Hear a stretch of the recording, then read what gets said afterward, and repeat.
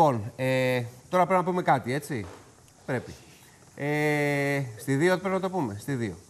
Όπως γνωρίζετε, φαντάζομαι το μάθατε το Σαββατοκύριακο, η Δούκησα νομικού δεν θα συνεχίσει στην εκπομπή.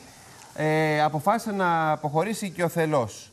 Εγώ θέλω πραγματικά να την ευχαριστήσω μέσα από την καρδιά μου για την μικρή έστω αυτή συνεργασία που είχαμε εδώ δύο-τρεις εβδομάδες.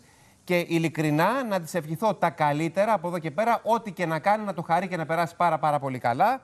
Ειλικρινά και από ό,τι διαβάσαμε θα είναι στον αντένα, οπότε καλή επιτυχία σε ό,τι και αν κάνει από εδώ και πέρα, το αξίζει.